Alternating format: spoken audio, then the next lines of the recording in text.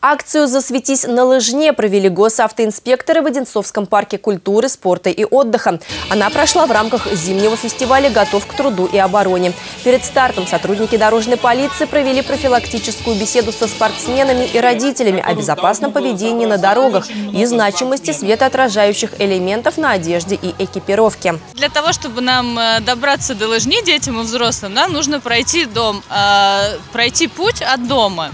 А этот путь, э, чтобы преодолеть, нас ждет э, и пешеходные переходы, и дорожные знаки.